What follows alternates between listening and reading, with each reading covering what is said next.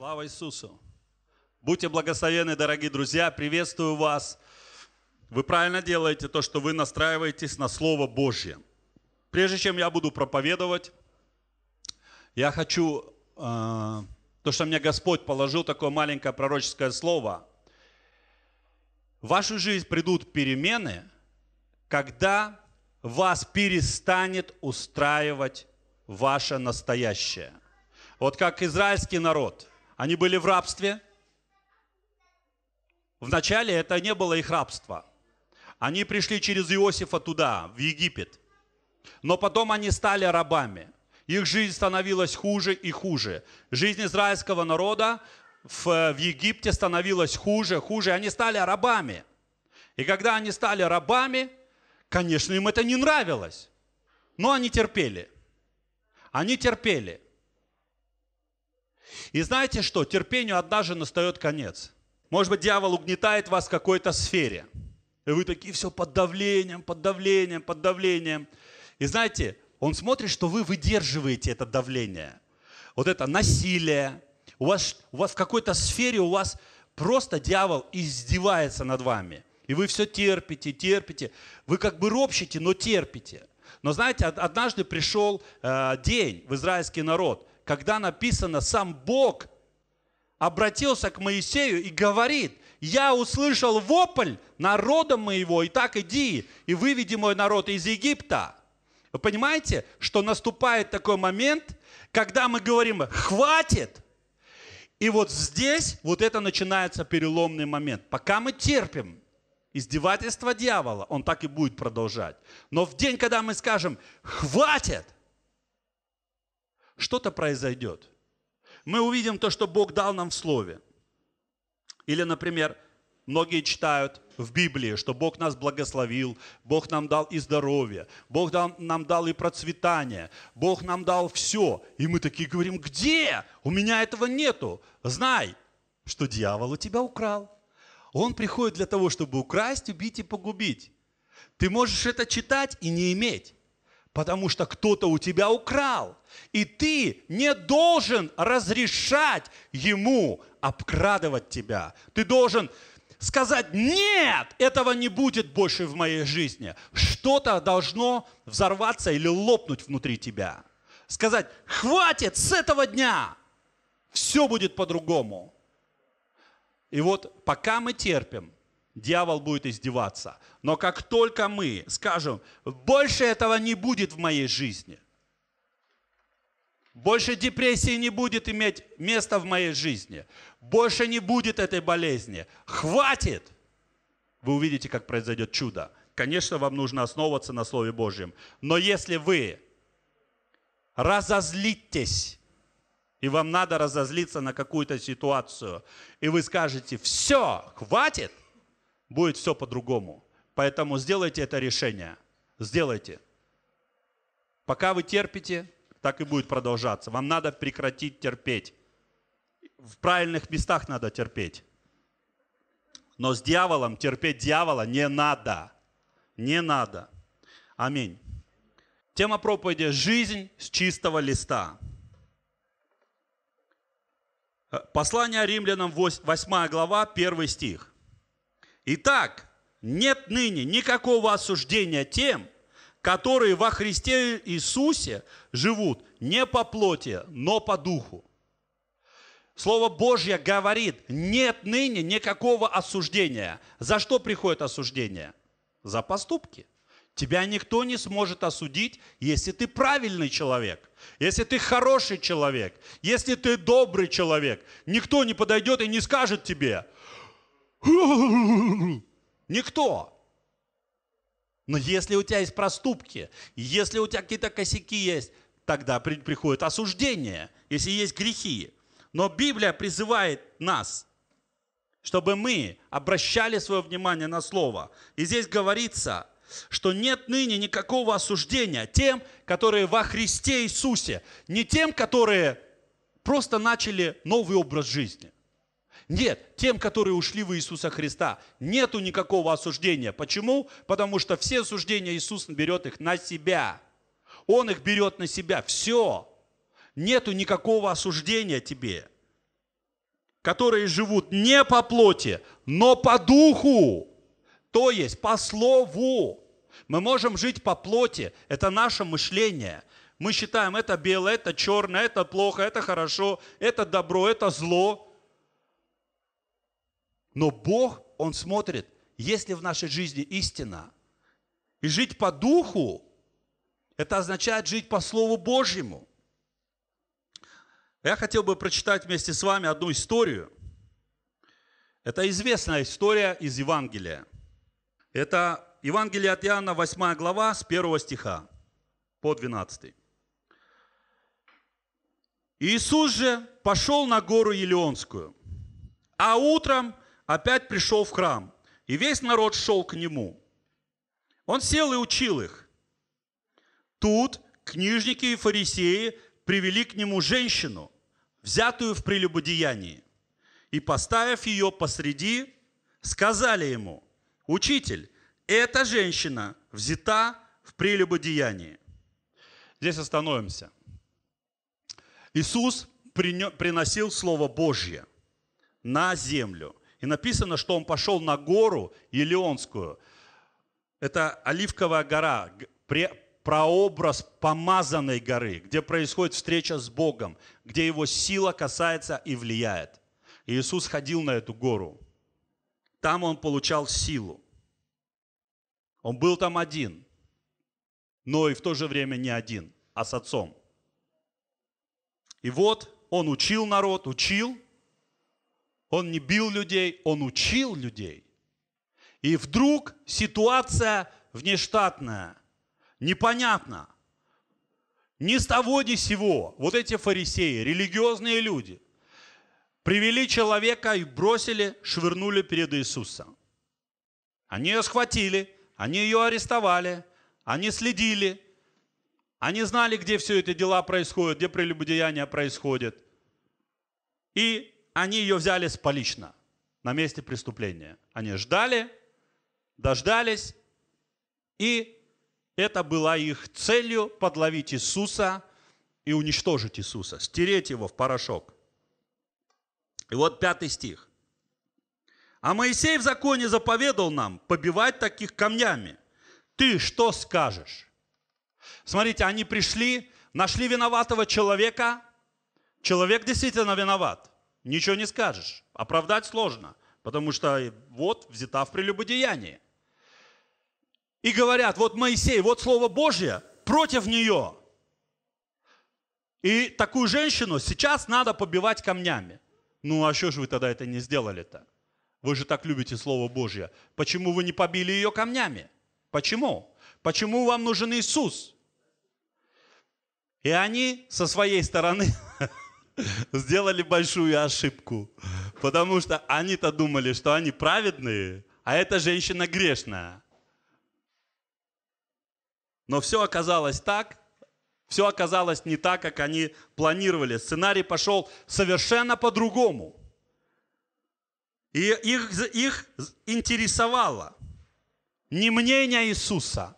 Они сказали, ты что скажешь? Их интересовало общество, мнение. Потому что все слушали Иисуса. Написано, весь народ пришел, да? Второй стих говорит, весь народ пришел к Нему. Все люди, все. И задача их была утопить Иисуса. Поставить его в тупик, загнать его, чтобы перед людьми показать, смотрите, Иисус вообще не прав. Он против наших обычаев, он против закона. Седьмой стих. «Говорили же это, искушая его, чтобы найти что-нибудь к обвинению его.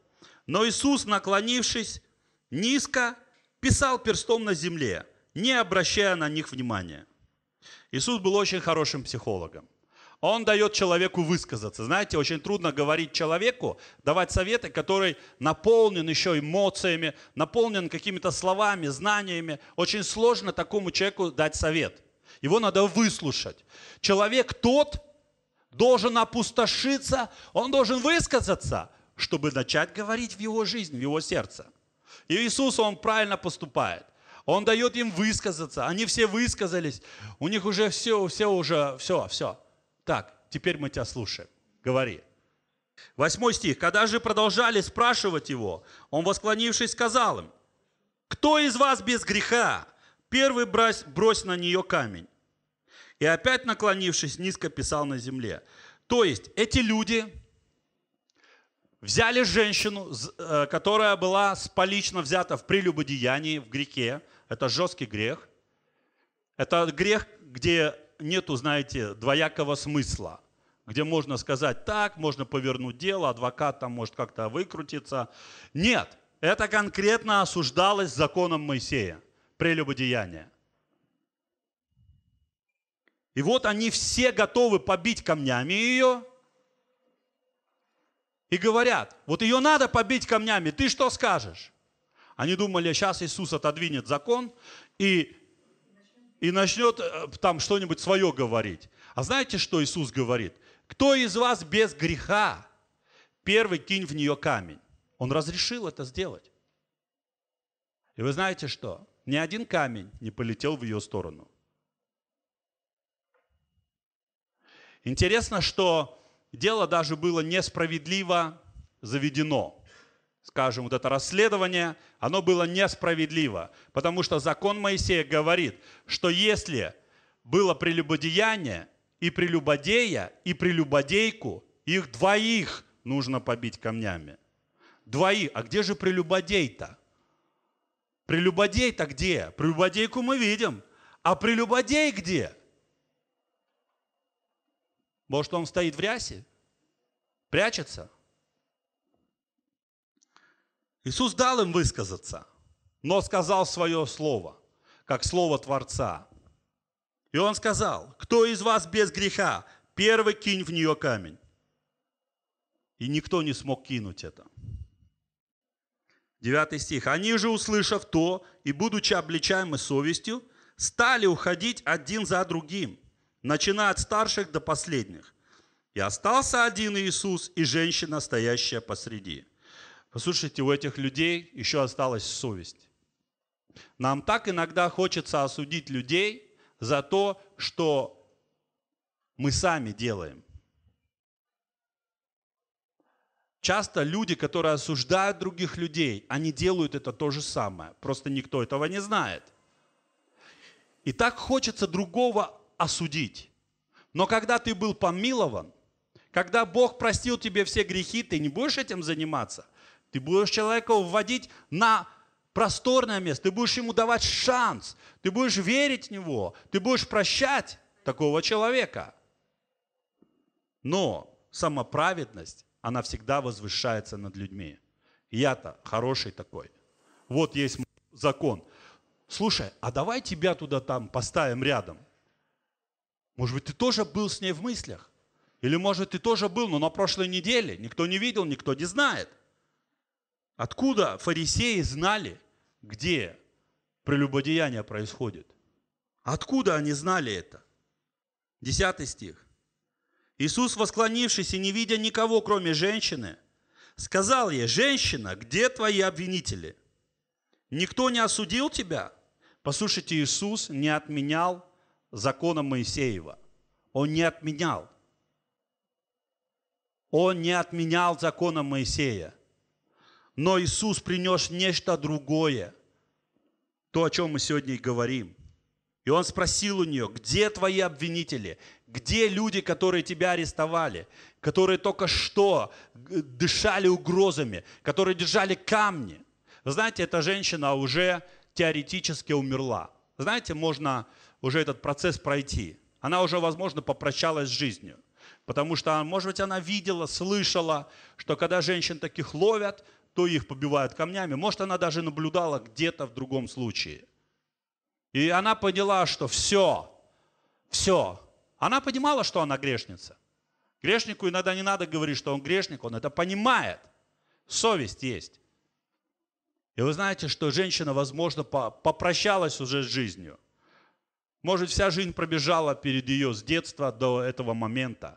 Пробежала, может быть, вся жизнь перед ее глазами. И вот, происходит чудо. Никого нету. Никого нету. И остается женщина эта, грешная, и Иисус. И он спрашивает у нее, где? Никто не осудил тебя? 11 стих. Она отвечала, никто, Господи. Иисус сказал ей, и я не осуждаю тебя. Иди и впредь не греши. Он ей дает помилование. Он ей дает помилование. Он полностью, полностью стирает все ее грехи. Весь ее ужасный вот этот статус, в котором она пребывала, такой тайный статус. Он очищает ее от всех грехов и выдает ей белый лист. Белый лист и говорит, это твоя жизнь. Цени это, иди и впредь не греши. Человек без греха очень прекрасен. Послушайте, иногда мы видим каких-то злых людей, жестоких людей, отвратительных людей. Но как они стали такими? Ведь они же не рождались такими. Я не видел, чтобы рождался какой-то, знаете, ужасно злой ребенок. Они все миленькие, они все хорошенькие. Но грех уродует человека. Он изменяет ДНК человека. Он несет, знаете, часть и большую часть сатаны. Вот эта злость, агрессия, смерть, ненависть. И вот все, что в человеке отрицательное, это все сущность дьявола, который принес грех в жизнь человека. И без греха, если грех убрать из жизни человека, это прекраснейший человек, это добрый человек, это светлый человек, это любящий человек. Именно без греха был сотворен человек. Человек был сотворен абсолютно без греха, никакого вмешательства. Человек даже не знал, что это такое. Никогда не пробовал греха. И вы знаете что? Я ко всем сейчас хочу обратиться, что именно такой жизнью мы будем жить с Богом. Без греха. И это будет прекрасно. И здесь началась эта трансформация. Здесь это начало этой жизни, когда мы живем без греха. Да, мы согрешаем еще, Бог уже большую работу, часть больше большой работы Он уже совершил в нас. И Он продолжает это изменять, чтобы нас приготовить к вечности. И вечность, она будет вся без греха. И она будет прекрасной. Она будет чудесной. Эта женщина теоретически уже была мертвой. Она как бы прошла через смерть. Но именно там она встретила Иисуса. Вот что такое рождение свыше. Это не когда ты считаешь себя нормальным человеком, но тебе нужен еще Бог, как бы как приложение. В твоей коллекции не хватает только Бога. Нет, это когда ты полностью уже не надеешься на прекрасную жизнь. И тут встречается Иисус. И больше никого. И больше никого. И знаете что? Именно там она встречает Иисуса, адвоката и спасителя. Именно там люди всегда будут осуждать. Всегда будут осуждать. У людей стандарты очень простые. Тебя сегодня превозносят, а завтра тебя втопчат в грязь. Сегодня народ кричит «Асанна, Асанна, Иисус царь, царь, царь!» Через три дня «Распни его, распни его, распни его!» Народ очень, человек очень э, нестабилен. Сегодня это твой лучший друг, а завтра он твой лучший враг. Но и с Иисусом все по-другому. Он пришел не губить души человеческие, а спасать их. Поэтому Иисус дает многим людям возможность начать все с чистого листа. Для чего? Раньше у нас, по сути, не было выбора. Мы были заложниками греха. Мы родились во грехе. Наши друзья были грешными. Наше общество было грешным. Нас так научили, в нас так внедрили, и грех развивался внутри нас. У нас была очень хорошая среда, где грех мог проявляться в своем ужасе. Но как можно человека за это судить? Как можно судить волка за то, что он в лес смотрит? Как? Это его природа.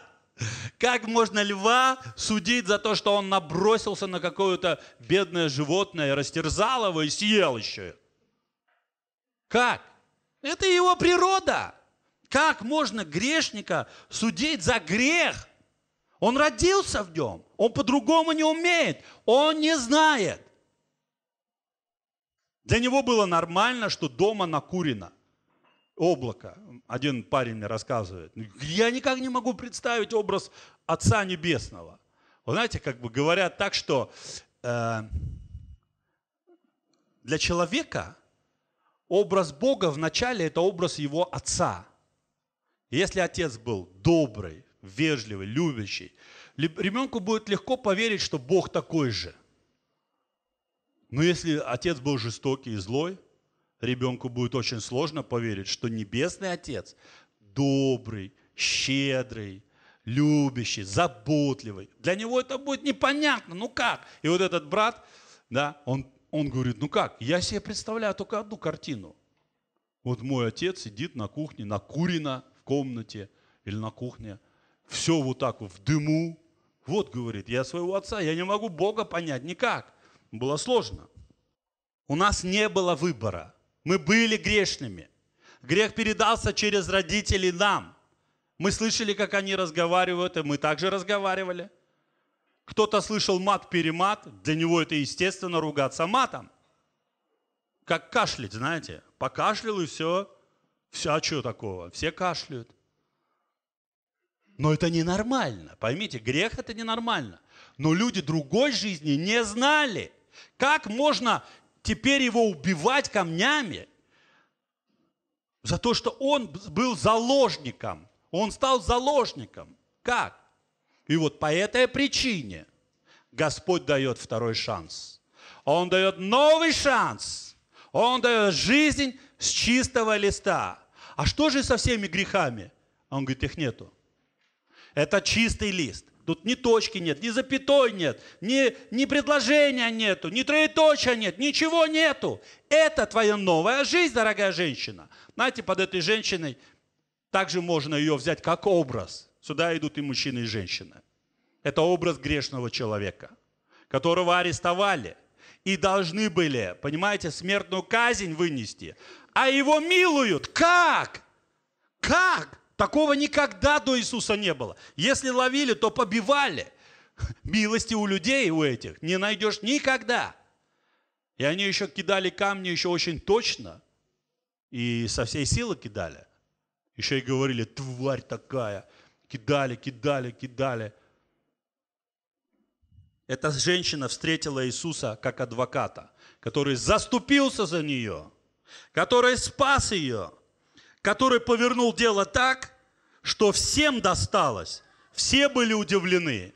И знаете, что эти люди сделали? Они все ушли. Давайте мы поблагодарим Господа, Бога нашего, который не пожалел свою собственную жизнь и отдал за нас все. У Бога не было много сыновей, у него был единственный сын. Один сын, и он не был единственный, любимый сын. И он отдал его вместо нас.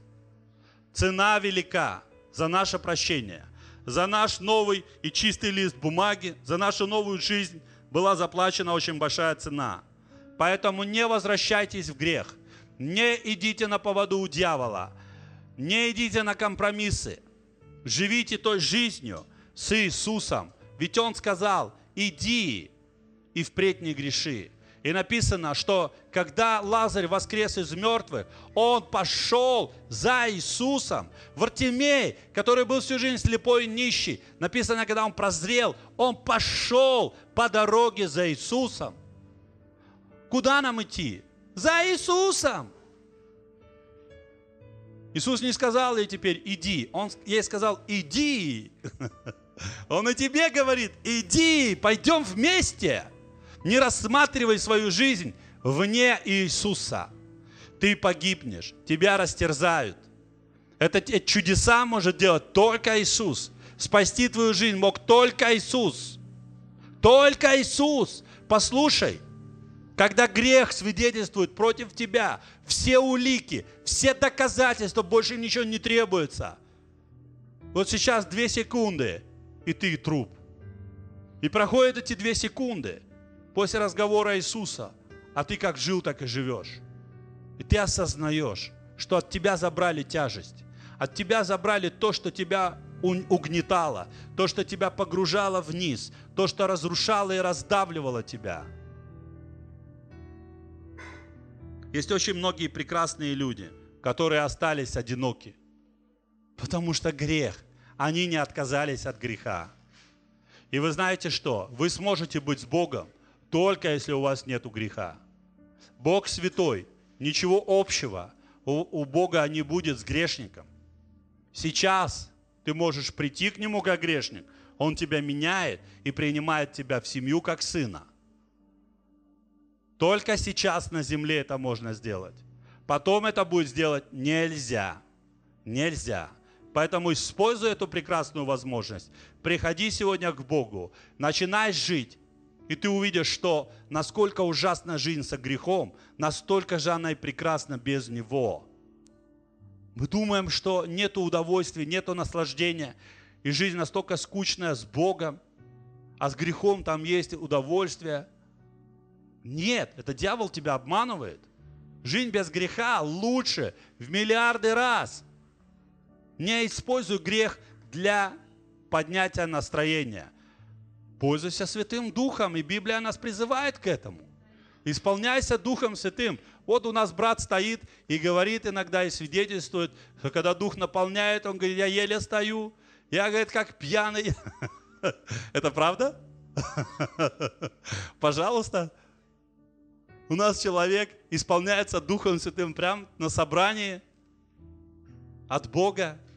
Аллилуйя. Каждый это может делать. Давайте мы поблагодарим Господа за Его удивительный дар любви. Это дар любви. Он не за смерть, Бог за жизнь.